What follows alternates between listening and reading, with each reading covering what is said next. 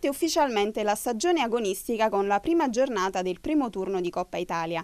32 le compagini impegnate, suddivise in 8 gironi, composti ognuno da 4 squadre.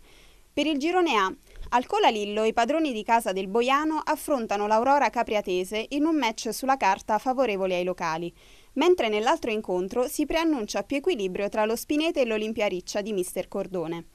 Passando al girone B, si affrontano Roseto e Comprensorio Vairano in un match molto equilibrato, mentre Pirotecnico si preannuncia Trivento del neo acquisto Guglielmi e l'ambizioso Città di Termoli.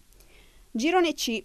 Impegnate al Vitantonio, Ripalimosani e i bianconeri del Venafro. Un match sulla carta a favore degli ospiti, ma con i padroni di casa che se la giocheranno a viso aperto. Nell'altra partita, al di Placito, il Rocca Sicura attende la Donkey Sagnone, pronostico favorevole per i padroni di casa. Girone D.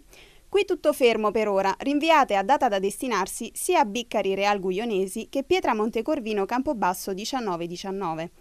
Passiamo al gruppo E. Il favoritissimo Vasso Girardi è atteso alla trasferta di Castel di Sangro, partita nettamente a favore degli ospiti, mentre a Piedimonte Matese la FVP ospita l'Aurora Aururi, partita dall'esito incerto. Siamo al gruppo F. Al Venditti i padroni di casa neroverdi affrontano il 4 Torri Chieuti. Questo match è in programma mercoledì 29 agosto, con calcio d'inizio alle ore 17. Regolarmente in campo domani il Termoli 2016 che al Cannarsa ospita il Treppini Matese, pronostico orientato verso il 2. Girone G. Nell'unico anticipo del turno, tra poco in campo il nuovo Acli Campobasso Campo di Pietra che ospita la Cliternina, mentre a San Bartolomeo in Galdo la Polisportiva Fortore se la vedrà contro il Sesto Campano, squadra esperta che da anni disputa il campionato di eccellenza. Nell'ultimo girone, quello H, la Sant'Eliana di Mister Pino Marrone è attesa allo Spinello di Allife, in una partita non facile. Nell'altro match, al comunale di Baranello, i padroni di casa ospitano l'ambiziosa Frentania del bomber Giuseppe Mucci.